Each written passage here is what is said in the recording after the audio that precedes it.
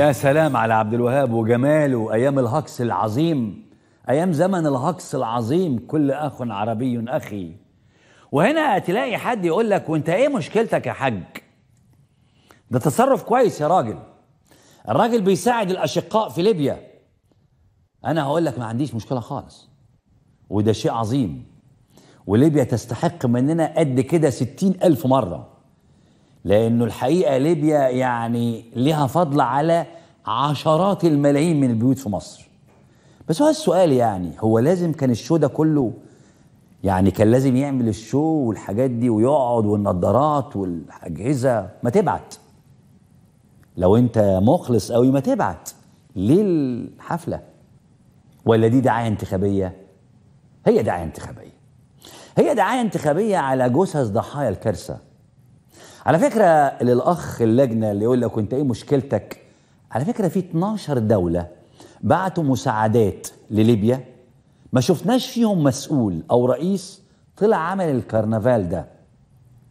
12 دولة بعتت مساعدات لليبيا. ما شفناش دولة فيهم طلع المسؤول فيها ووقف وكل أخ لبناني أخي وكل أخ أوروبا ما شفناش القصص دي خالص. الدول بعتت. وانتهى الموضوع. مفيش الحفلات دي. محدش فيهم طلع ياخد اللقطة. طيب بلاش دي خالص. هو أنت لما أنت عامل ذكر قوي كده ومنقذ وفاعل خير طب ما تساعد المصريين هناك الأول. ده حتى الجار أولى بالشفعة يا راجل. أنت يا سيسي قلبك قلب خصاية قوي ومهتم.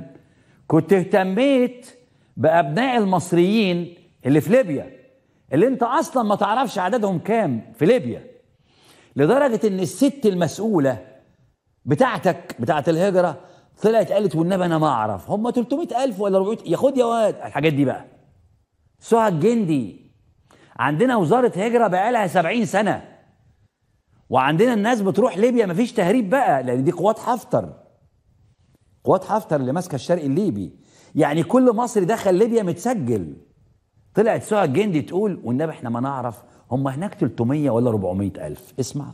إحنا عندنا قد إيه في ليبيا تقريبا يا ست الوزير؟ هو وفقا حضرتك ل آه، يعني لمنظمة آه، الأمم المتحدة لل- للهجرة آه، والمنظمات ال- ال- الأممية اللي عاملة في في ليبيا فإن الأجانب بشكل عام اللي آه. موجودين في ليبيا في. حدود 750 ألف أجنبي. آه. غير ليبي. 750 ألف موا- مواطن غير ليبي. أجنبي غير ليبي. تمام. فلو إحنا افترضنا ان نص دول بحالهم مصريين فاحنا بنتكلم على في حدود 350 ألف ل 400 ألف مصري أيوه ده أيوة. ده, ده الفرضية إن نعم، نعم، يعني مفهوم. لأن إحنا برضو أنا عايزة أفكر أفكر بإن في مصريين آه، بي- بيروحوا هناك بشكل غير شرعي طبعاً، و- طبعاً، وكده. طبعاً. مفهوم، فلو مفهوم. إحنا بنتكلم على إن في 350 ل 400 بس بس إيه الشكل الغير شرعي بيروحوا إزاي بشكل قالت لك 350 ألف إلى 400 ألف يعني في 500 ألف في النص كده نفس بشرية الست ما تعرفش. الست ما تعرفش إذا كان في عدد المصريين كام هناك. والسيسي عامل استعراض والبسترار رايحة. تاني حاجة أصلا أنت ما عملتش أي حاجة مع المنكوبين المصريين اللي لحد دلوقتي مش عارفين عيالهم أحياء ولا أموات. زي بيقول الراجل ده إن قريته طلع منهم 75 جثة. اسمع. بلد فيها 2000 2000 واحد طالعين. يمكن رجع منهم 75 والباقي ما نعرفش عنه حاجة ولا في تواصل ولا في اي حاجة خالص يعني انت عايزين حاجة من الرئيس بلد طلع منها 2000 رجع 75 جثة بس. وأنت قاعد بقى تتأمع وعربيات إسعاف وحاجات عشان الشقيقة ليبيا. 2000 ما نعرفش عنهم حاجة. رجع منهم بس 75 الناس بتصرخ وبيسألوا الذكر الحنين اللي مشغول باللقطة. فين الناس المصريين اللي ماتوا؟ الشباب دول أهاليهم بيناشدوا المسؤولين لمساعدة مئات الشباب يا عمي. مئات الشباب المصابين في ليبيا. اسمع.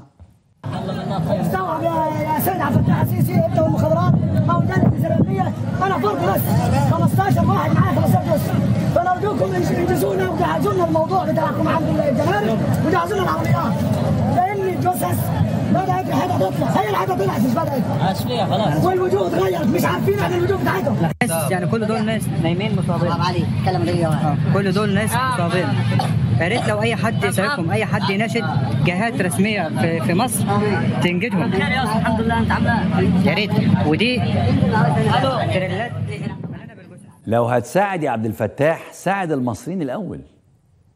يعني شوف المصريين اللي هناك اللي ملقحين اللي مرمين محتاجين بس يا راجل ده حتى الجثث حتى الجثث اللي بتوصل الإخوة في ليبيا بيوصلوها للحدود والسيسي حاجزها عشان معهمش ورق.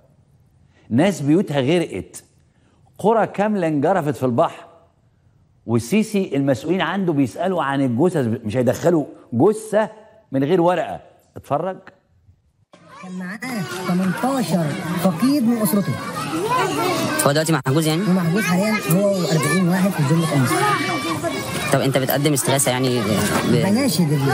المصريه إنها تسهل لهم اجراءاتهم وتنزلهم. بتدخلهم البلد. وتدخلهم البلد. ولا هترجعهم ليبيا ومش عايزينهم ولا عايز ادفع الكلام ده حصل من امبارح من أمس. من أمس الساعة 9 بالليل. قول للأستاذة سهى الجن الجندي بتاعت الهجرة إن الجثث قاعدة في الحدود مش عايزين يدخلوها عشان الج... المصريين لا في سفارة بتساعدهم ولا خارجية ولا وزارة هجرة ولا أي مؤسسة من مؤسسات الدولة وطالع واحد من الأهالي يفوض أمره إلى الله بعد ما استغاث بالسيسي. نوصل لهم ولا بأي طريق. أولادنا أطفالنا يتموا الحريم وفين يا سيادة الرئيس نشكي لمين يا سيادة الرئيس. فين الحكومة المصرية؟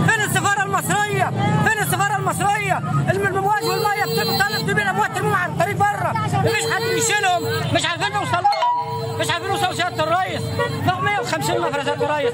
أكثر أعداد كثيرة. أعداد لا تعد ولا تحصى سيادة الرئيس. سيادة الرئيس استغاثة سيادة الرئيس. المسؤولين. المسؤولين. قرية الشريف اتدمرت سيادتك. لقمة العيش يا ريس لقمة العيش يا ريس راحوا ضحية السيول. راحوا ضحية الفيضان. شباب.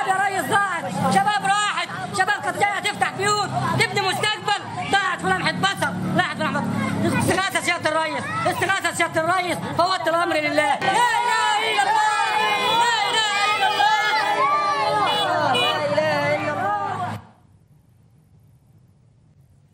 الناس هجت من بلد موحولة في كل حاجة وزعيمها المريض بيعمل إنه يعني الراجل مشغول باللقطة وبتبرئة نفسه من أي مسؤولية.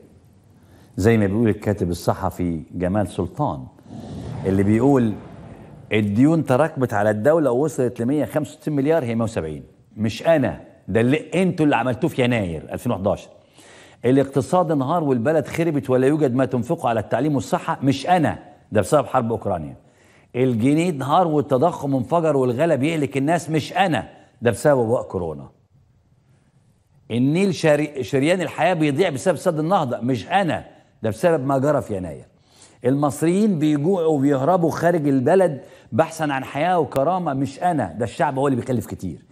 أول حاكم لمصر لا يريد أن يتحمل مسؤولية أي شيء تجاه الوطن.